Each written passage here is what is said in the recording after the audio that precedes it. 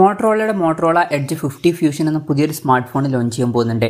ഈ ഒരു ഫോണിന്റെ ലോഞ്ച് ഡേറ്റിനെ പറ്റിയിട്ടുള്ള ന്യൂസുകളൊക്കെ ഇപ്പം പുറത്ത് വന്നിട്ടുണ്ട്. ഫീച്ചേഴ്സിനെ പറ്റിയിട്ടുള്ള പല കാര്യങ്ങളും ഇപ്പം അറിയാനും കഴിഞ്ഞിട്ടുണ്ട്. ഈ ഒരു വീഡിയോയിൽ നമ്മൾ നോക്കാൻ പോകുന്നത് മോട്ടറോള എഡ്ജ് ഫിഫ്റ്റി ഫ്യൂഷൻ എന്നുള്ള സ്മാർട്ട് ഫോണിനെ പറ്റിയിട്ടാണ്. ആദ്യം നമ്മൾ ഫീച്ചേഴ്സും കാര്യങ്ങളൊക്കെ നോക്കുകയാണെന്നുണ്ടെങ്കിൽ ഡിസ്പ്ലേയുടെ കാര്യത്തിൽ ഈ ഒരു സ്മാർട്ട് ഫോണിൽ ആറ് പോയിന്റ് ഏഴ് full H D plus display ആയിരിക്കും വരിക. ഒ എൽ ഇ ഡി പാനലും കാര്യങ്ങളൊക്കെ ഇതിൽ വരുന്നതായിരിക്കും. പിന്നെ ഡിസ്പ്ലേയിൽ നൂറ്റി ഇരുപത് ഹെർട്സിന്റെ റിഫ്രഷ് റേറ്റ് സപ്പോർട്ട് ചെയ്യുന്നതായിരിക്കും.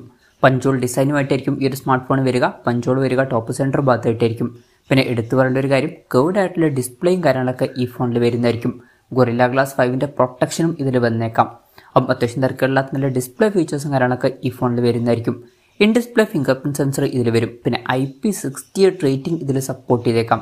അത് നല്ലൊരു കാര്യം തന്നെയാണ്. പ്രത്യേകിച്ച് അപ്പർ മെഡ്രീൻ സെഗ്മെന്റിൽ വരുന്ന ഒരു ഫോണാണ് എന്നുള്ള കാര്യമൊക്കെ കൺസിഡർ ചെയ്യുമ്പോൾ ഈ ഫോൺ വാട്ടർ റെസിസ്റ്റന്റും അതുപോലെ തന്നെ ഡസ്റ്റ് റെസിസ്റ്റന്റും ആയിരിക്കും.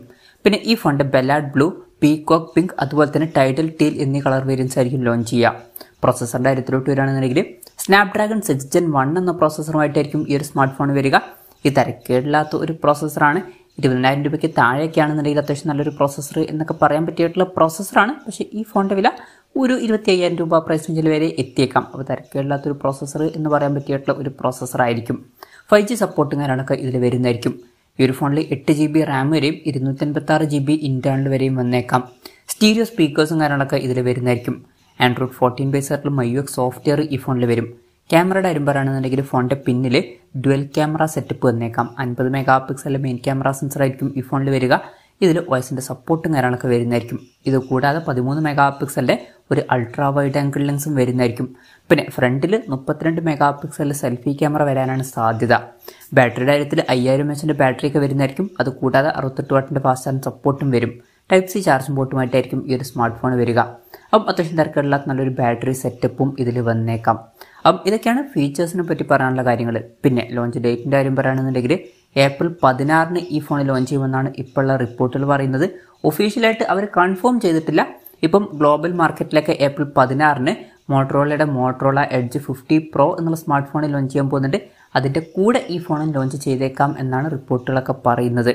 ഇനി ഇന്ത്യയിൽ ഈ ഫോൺ ലോഞ്ച് ചെയ്യുമെന്ന് വെച്ചാൽ ഇന്ത്യയിൽ ഈ ഫോൺ ലോഞ്ച് ചെയ്യുന്നതായിരിക്കും. പക്ഷേ ഏപ്രിൽ പതിനാറിനായിരിക്കില്ല ഈ ഫോൺ ഇന്ത്യൻ മാർക്കറ്റിൽ ലോഞ്ച് ചെയ്യുക. പിന്നീട് ഈ ഫോൺ ഇന്ത്യൻ മാർക്കറ്റിൽ ലോഞ്ച് ചെയ്തേക്കാം. പിന്നെ വിലയുടെ കാര്യം പറയുകയാണെന്നുണ്ടെങ്കിൽ അതിനെ പറ്റിയിട്ടുള്ള ന്യൂസുകളൊന്നും പുറത്ത് വന്നിട്ടില്ല. എന്നാലും നമ്മുടെ എക്സ്പെക്ടേഷൻ പറയുകയാണെന്നുണ്ടെങ്കിൽ ഈ ഒരു ഫോൺ ഇന്ത്യൻ മാർക്കറ്റിൽ നമുക്ക് ഒരു ഇരുപതിനായിരം ടു ഇരുപത്തിനാലായിരം രൂപ പ്രൈസ് റേഞ്ചിലൊക്കെ ആയിട്ട് എക്സ്പെക്റ്റ് ചെയ്യാവുന്നതാണ്. കൺഫർമേഷൻസ് വന്നിട്ടില്ല. ജസ്റ്റ് നമ്മുടെ എക്സ്പെക്ടേഷൻ പറഞ്ഞു എന്നേ ഉള്ളൂ. എന്തായാലും മോട്ടറോളയുടെ മോട്ടറോള എഡ്ജ് ഫിഫ്റ്റി ഫ്യൂഷൻ എന്ന പുതിയൊരു സ്മാർട്ട് ഫോൺ ലോഞ്ച് ചെയ്യാൻ പോകുന്നുണ്ട്. ഈ ഒരു ഫോണിന്റെ ഇന്ത്യയിലെ ലോഞ്ച് ഡേറ്റിനെ പറ്റിയിട്ടുള്ള ന്യൂസുകളൊക്കെ വരുമ്പോൾ അതിനെ പറ്റിയിട്ടുള്ള വീഡിയോസൊക്കെ നമ്മൾ ചെയ്യുന്നതായിരിക്കും. അപ്പം അതുപോലുള്ള വീഡിയോസൊക്കെ കാണാൻ താല്പര്യമുണ്ടെന്നുണ്ടെങ്കിൽ ഈ ചാനൽ സബ്സ്ക്രൈബ് ചെയ്യാവുന്നതാണ്. എന്തായാലും ഈ ഒരു ഫോണിനെ പറ്റിയിട്ടുള്ള നിങ്ങളുടെ അഭിപ്രായം ജസ്റ്റ് ഒന്ന് കമന്റ് ചെയ്യുക. അതുപോലെ തന്നെ ഈ ഒരു സ്മാർട്ട് ഫോൺ ഇന്ത്യൻ മാർക്കറ്റിൽ നിങ്ങൾ ഏത് പ്രൈസിങ്ങിലാണ് എക്സ്പെക്ട് ചെയ്യുന്നത് എന്നുള്ള കാര്യം കൂടി ജസ്റ്റ് ഒന്ന് കമന്റ് ചെയ്യുക.